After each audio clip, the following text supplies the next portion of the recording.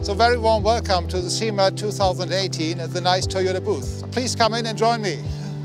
And that's one of the highlights what we have here at the fair. It's a new Traigo 80, the 8-ton truck. Honestly speaking, it's a silent beast.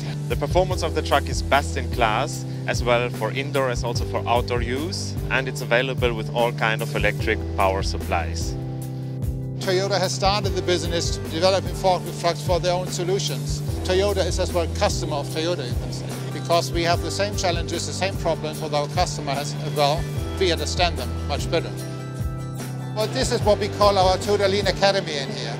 And you can see it has a lot of interest here, a lot of customers are in here as well. We can learn in the logistic process a lot from TPS principles. So I think this is a very nice approach to convince customers not to think only about products, but to think about the whole process of logistics. Here we're talking about smart logistics, smart navigation.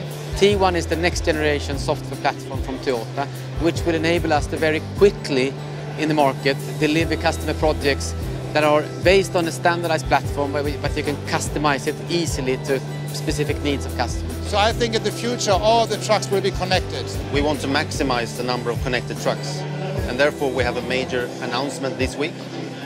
We will, as from this autumn, integrate telematics into all our warehouse trucks.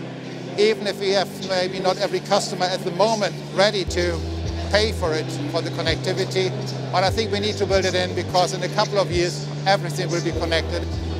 In the connected world, you cannot do everything by your own. You need to partner with somebody. We have a very nice partnership started with Microsoft. T-Stream, we have collaborated together with our partner Microsoft to build a new tool for our technician that will make them more prepared when they go to the customer for doing the service. We also see new possibilities for a technician to add new technologies. If you put on the augmented reality glasses, there will be instruction how to change the sensor. So it's very easy for every technician really in, this, in the future to service a forklift truck. And then our nice collaboration, what we have is Vanderlande over there, to show the opportunities for our customers to really have a one-stop shop solution for automated systems. Today, you can see here already available all our product range for automated guided vehicles. And then we are coming to a future range, what you can see over there.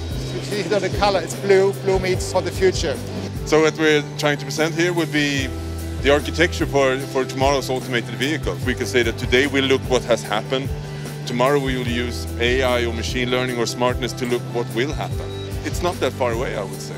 And here in the forum, I, I really would like to be inspired because this is all what we would like to do. Inspiration is so important for us to learn about the future and to know something what we can do different. Pepper, what can you tell me about the future? The future is here. Artificial intelligence will make me smarter. With AI, I think we will see in the future much more collaboration. We will see some robots doing some things what we are doing today. Uh, so it will be interesting as well to follow the session here. Uh, he's laughing about me, yeah? You look amazing from this distance.